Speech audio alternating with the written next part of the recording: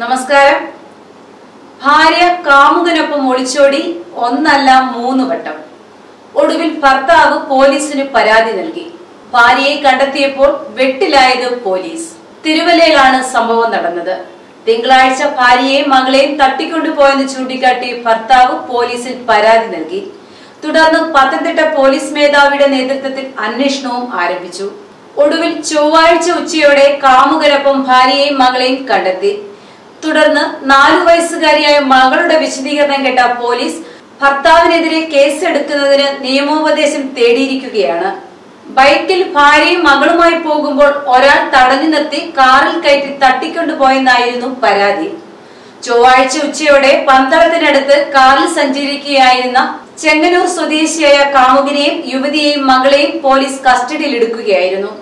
കുട്ടി നൽകിയ വിവരമനുസരിച്ച് തിങ്കളാഴ്ച രാവിലെയാണ് കുട്ടിയുമായി കാമുകരൊപ്പം യുവതി പോയത്. അവർ താമസിച്ച സ്ഥലവും പോയ പ്രദേശങ്ങളും ടവർ ലൊക്കേഷനിലൂടെ പോലീസ് സ്ഥിരീകരിക്കുകയും ചെയ്തു. ഇതറിഞ്ഞ പോലീസ് ഭർത്താവിനെ ചോദ്യം ചെയ്തപ്പോഴാണ് അറിയുന്നത് രണ്ട് തവണ ഭാര്യ കാമുകരൊപ്പം ഒളിച്ചോടിയിട്ടുണ്ടെന്നും മൂന്നാം തവണയാണ് പരാതിയുമായി പോലീസിനെ സമീപിച്ചത് എന്നുമാണ്. വിവാഹമോചനത്തിന് ഭർത്താവ് സമ്മതിക്കുന്നില്ല എന്നാണ് ഭാര്യയുടെ പരാതി. പോലീസിന് പരാതി ലഭിച്ചുവെങ്കിലും കേസ് എടുക്കാനാവാതെ പോലീസ്. മറ്റൊരു വാർത്തയുമായി വീണ്ടും കാണാം.